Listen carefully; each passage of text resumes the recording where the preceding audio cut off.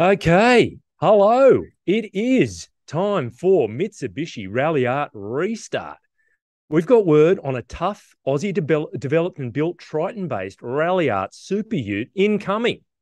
Will it take down Ranger Raptor, Navara Warrior, and the soon-to-arrive Toyota Hilux Rogue update? Stick with us for as much as we know on who's doing the work, when, where, why, and how. Um, welcome. I'm Cars Guide Deputy Editor James Cleary, and joining me on the Cars Guide podcast panel to discuss this reignition of Mitsubishi's legendary World Rally off road racing and performance division are adventure editor Marcus Craft, Crafty. Greetings. As well as key contributor and Ralliart Deep Throat, Andrew Chesterton. Chester.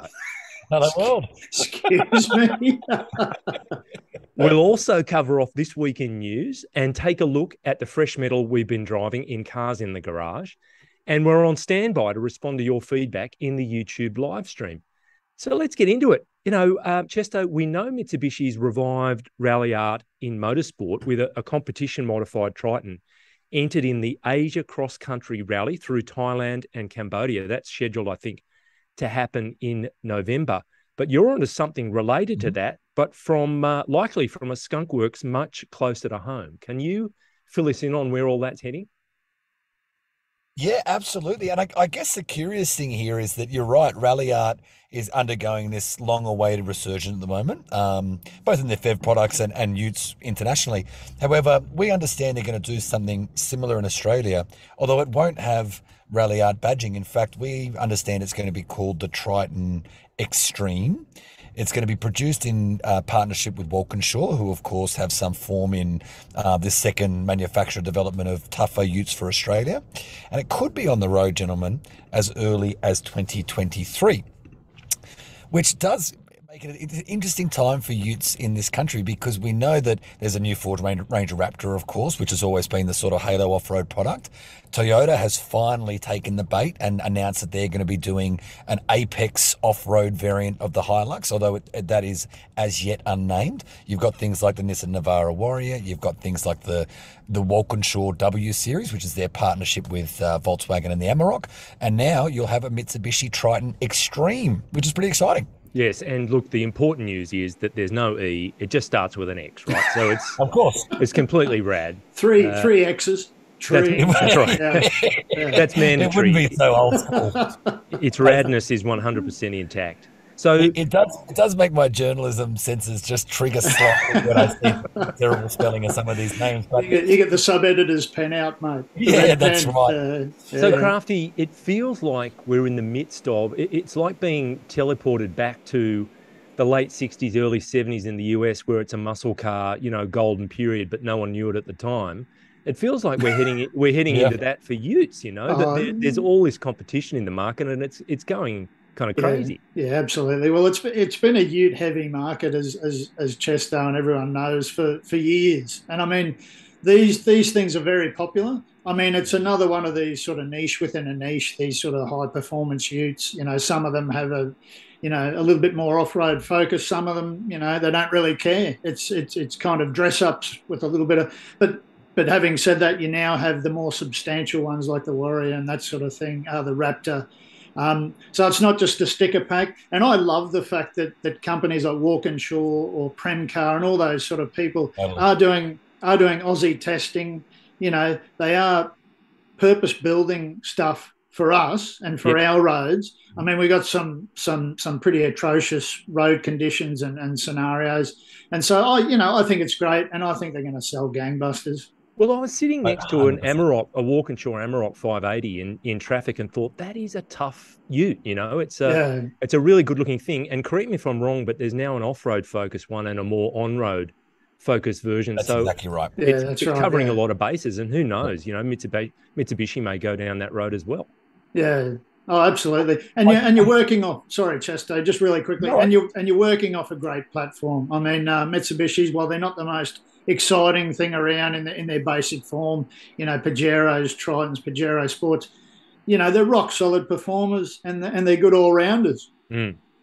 Well, let, let me tell you what, what we think we know about the uh, the extreme. So the, it, it, does look like they're definitely going to take an off road focus with it, and and it's now become pretty common with these um, development houses in Melbourne or Victoria. It's going to have you, you can expect it to have anyway new off road suspension. You can expect it to have extra underbody protection. You can expect it to have a general toughing toughening up of the exterior. You can expect tires all terrain rubber. Yeah, so it, it, it's certainly more than a sticker pack. And I would say as well, the, the, the Warrior program, especially, what that's done for, for Premcar in term of, terms of its staffing numbers and everything else, what what uh, Amarok and, and their other products has done for Walkinshaw is really awesome. It is kind of like a return to small scale Aussie auto manufacturing. We're not pumping out Commodores and Falcons anymore, sure, but there are a lot of people employed making cars better for Australians in Australia, which I think is awesome. It's, well, that's it. There's, there's such residual knowledge and talent, um, mm. given that Australia had been producing cars locally for so long, that uh, there, there's just all of this expertise that is obviously now applying itself in a slightly different way. Yeah, you'd think about all the hundreds of years that that you know would otherwise be be lost, you know, to re- to retirement, which is un, you know unfortunately the the case. And I'd yeah. love to see more of this happen and more of these people, you know, get gainful employment with different mobs, different things on offer. It's a real exciting time, I reckon. Well, tell me, here, look, I've gone through the spec of the Triton that's being used in this uh, rally up in Southeast Asia. Cusco mm-hmm. adjustable front and rear dampers. Does that brand name mean anything to you, Crafty? No, mate, not off the top of my head. Okay, but, uh, how about how about the, how about the big supermarket out near Parramatta? oh, that's you have Costco, to buy things sorry. by the pallet. Oh, that's Costco. yeah, that's right. Yeah. Dampers by in bulk. then uh, the, the front and rear ventilated disc. They got four piston calipers. Endless, endless brakes. Anyone heard of that? Uh, no, the brand, no. no. no the, the alloy wheels are Work, W O R K. Oh, okay. But the tyres are Yokohama, Yokohama Geolandar. Oh, well, there you go. No, we have heard of those. those. Yeah. And the, the hood is carbon fibre. The front and rear door panels are carbon fibre. I just wonder whether there might be a little bit of crossover and, and some, you know, chatter to and fro with what's going on up there and what's being done locally. You'd think they'd almost have to be, but then the other side of that coin, I guess, is Walkinshaw knows their way around – you know, engineering local product. They have their own preferred suppliers and all that kind of stuff. So how it shakes out, but I, I would I would actually think it might go more down the Toyota path, whereas the changes they make in Australia through their Melbourne Development Centre are then often adopted internationally. I, I like yeah. to think lead the charge there. You know. Yes, yeah. I mean I think we're it's it's we're recognised as a strong Ute market with particular Absolutely. market conditions that mean vehicles have to have a certain level of durability and and uh, longevity, um, as well as performance Absolutely. and refinement. So yeah, you're, you're you're entirely right. That could well happen. And can I can I just throw one th- one one other thing out there on Mitsubishi? This isn't so much this car, but the next Triton, which isn't too far away either. Yep. Just further to your point, JC, we, we know that the, the global boss of Mitsubishi came to Australia, and rather than go to the Opera House and climb the Harbour Bridge, he toured caravan parks and work sites to get a better idea of what Australians were towing, how they were using their utes, where they were going, yep. so that he could go back and then feed all that information to the engineers. So you're right, we are now being recognised absolutely as the kind of the ute experts, I suppose. I believe he did that incognito as well. Thongs, stubbies. I yeah. think he had uh, a singlet and occasionally right. a hoodie on, so that he could absolutely melt into the uh, into the landscape, as it were. The the only concession to corporate life that I saw him when I was sitting down for a beer with him was one of those T-shirts with the bow tie painted on it. That's one of those. That's he, right. He, he that's, rocked that pretty well. So yeah. Yeah, that was the formal formal dinner in the in the special let's, dining room in the caravan park. Let's that's just right. say his business sarong gaped open at inopportune times during during campsite chats. So, well, I suppose it's interesting, Crafty. You mentioned that Mitsubishi has had sort of a white goods reputation that Toyota had some time ago, and what it took for Toyota to get out of that rut was someone with uh, like you know Akio, Akio Toyoda has been like a dog with a bone. Like we are going to make more interesting, more exciting cars, and lo and behold sports cars and performance models come in to, to jazz up their personality and, and their brand. It takes someone at Mitsubishi to do a similar thing and say, yeah, we've become a bit kind of ho hum and we want to get back to where we were. And whether that means Evos of, of some description and Ralliart comes alive again. I mean, um, only a little while ago. Uh, last year, the Vision Ralliart happened. I th- it was shown. Where was it? Um, it must have been in Japan, and it's 22 inch rims, six pot brakes, muscular kind of body kit, the whole thing. So it Mhm. seems as though there's a strong intent on behalf of Mitsubishi within maybe the constraints of the whole alliance with um, Renault and Nissan, etc. To, to do this, they must have the green light to reinvigorate their brand. Yeah, Whatever, absolutely. whatever, sorry, Chesto. All right, mate. Um, whatever the end game is, JC, it's an exciting time. And I mean, that's that. I was talking to a mechanic mate the other day, and he said Mitsubishi's they, you know, they've never been that exciting, but you know, he's he's never seen a lot of issues with them, you know, in the workshop. Yeah. So Yeah. Yeah, he's, and he's seen a that's lot of that's toad and very thrash to point. within an inch of their life. But yeah.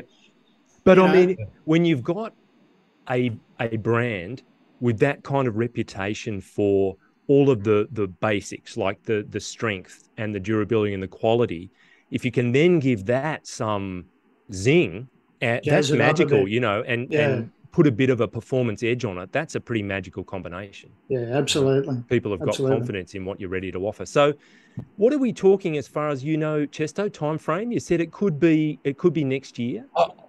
I would suspect you'll see rolling prototypes on the road before the end of this year, and I and I, CarsGuide understands they're targeting a, a early 2023 launch. So the other unspoken part of this is that they don't have uh, a lot of time up their sleeve, really, because the Triton isn't too far away from being replaced. Replaced. We've seen, Yeah. you know, camouflage uh, variant versions of the new variant already testing internationally. So it's it's kind of now or never. So I, I Yep. don't expect it'll take too long to see one.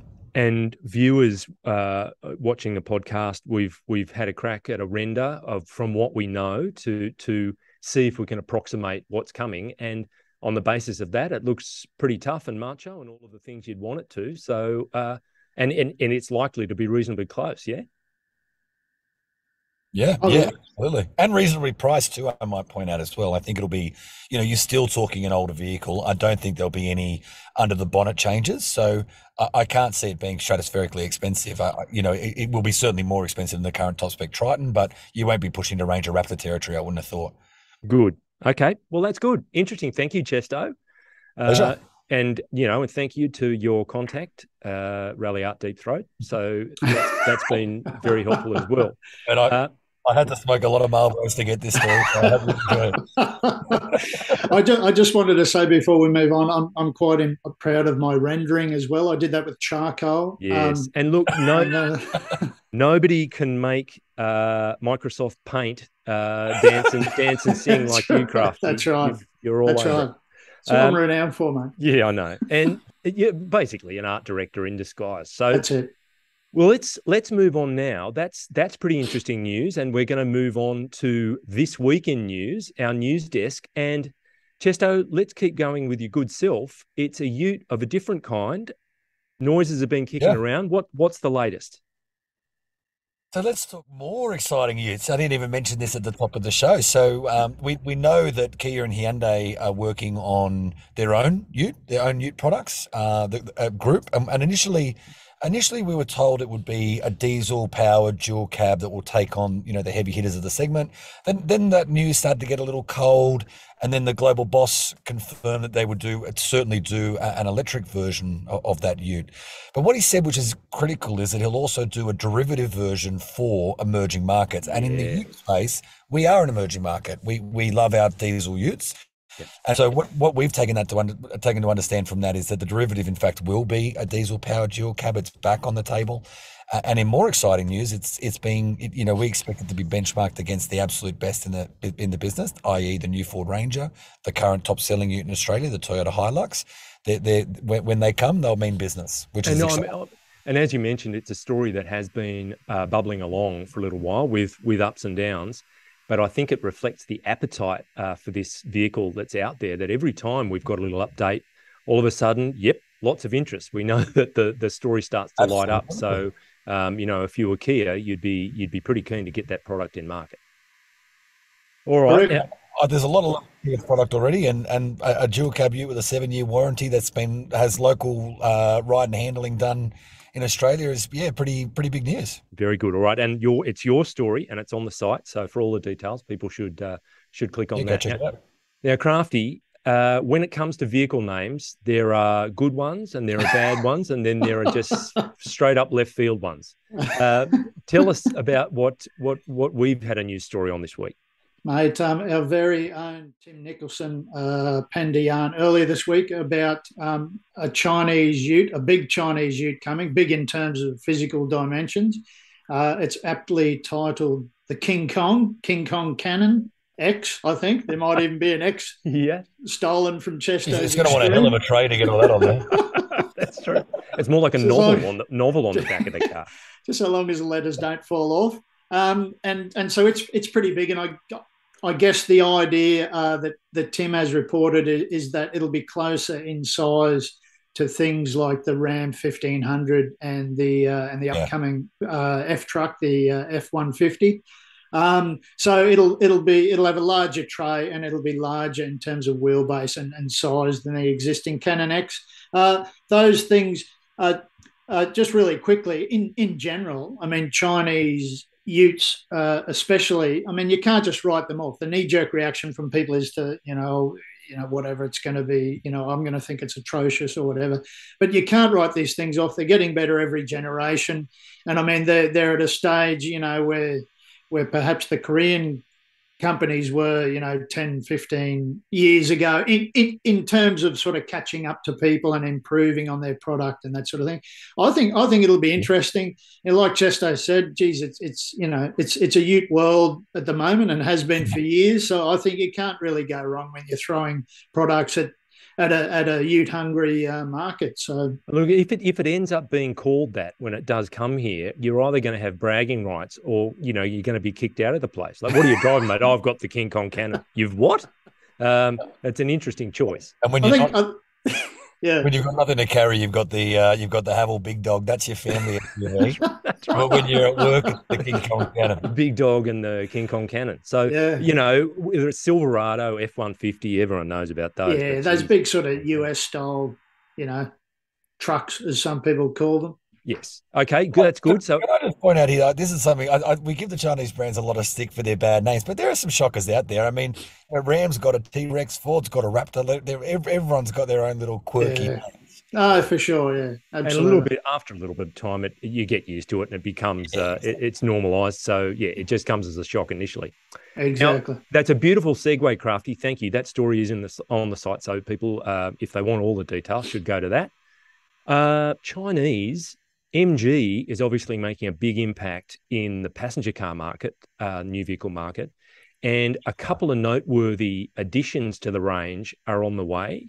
Um, the MG4, now it's an EV, um, it's joining the local lineup in what looks like early 2023.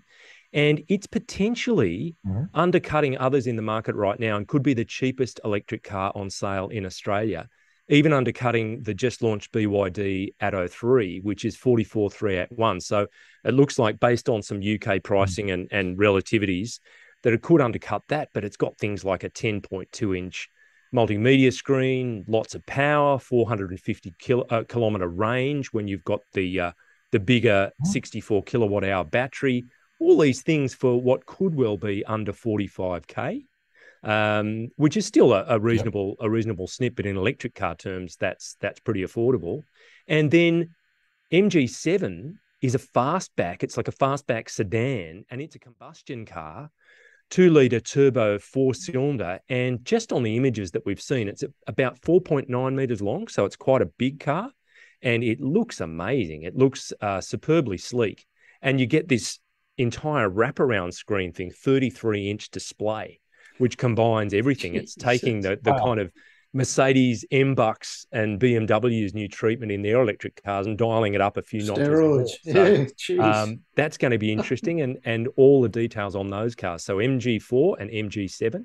Um, we've got stories on that in the in the news section on the site. So if people want the detail there, that's where they. Just, yeah. Can I throw one comment?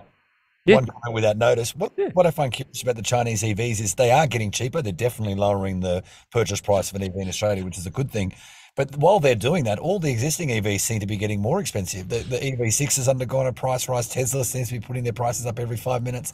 Yes. So well, the, the gap between the, the existing cars and the cheaper Chinese cars is only getting bigger and bigger. Well, I suppose there's a whole new set of base materials that are required to produce electric cars, and the volatility mm-hmm. in those markets may be unlike anything we've seen before. You know, um, cars are yeah, still made out of steel, but batteries are made out of all kinds of rare earth metals and and other things that may be difficult to acquire, and the price is more volatile. Who knows?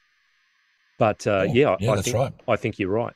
Um, okay, that's good. So that's the taste of what we've got uh, going on in the news desk at the moment. But let's get to some reality and cars that we've been driving. The first one, Chesto, it, yes, it, you, have experienced it, but um, you've got yes. one one arm behind your back at the moment in terms of of what we can uh, actually cough up with. Yeah. So look, first and foremost, I think your intro there of back to reality it doesn't really describe. oh yeah, fair call. Yeah. This is uh, so. Look, I, I, was behind the wheel of the Aston Martin DBX 707, and full disclosure, there is a, a drive embargo, so I can't tell you much about what it's like to steer. But it is just such a like headline stealing machine that I felt that I needed to talk about it just a little bit. So they bill it as the world's most powerful SUV, uh, which in, in in and of itself is a pretty good uh, uh, selling point. It's got a four liter twin turbocharged V8 engine. It makes 520 kilowatts and 900 newton meters, which is a lot. So that'd be an AMG sourced. That's engine. exactly what it yeah. is. Okay, exactly. Very good. Yep. And then the, then the, exciting part about it is this it, it is a big unit, like it's a really big SUV with lots of space in the first and second row. And yet somehow they've managed to get this thing to 100 kilometers an hour in 3.3 seconds. Jeez. And, and onto, onto, a top speed of 311 oh, kilometers an hour. So you'll never be late right. for the school run again. That's exactly right. this thing has got everything you need. So stay with me. I'll tell you more about what it's like to actually drive. Uh, it's it's also about half a million dollars or about four hundred and thirty thousand dollars. Right. Uh, but I'll tell you more about what it's like to drive in time. But I just wanted to get those headline numbers out there because they're just so incredible. Well, the the one thing I was saying uh, before we started the show, Chesto, was um, the most powerful SUV in the world claim is interesting because the recently outdated uh, Jeep Grand Cherokee Trackhawk uh, is was 527 kilowatts.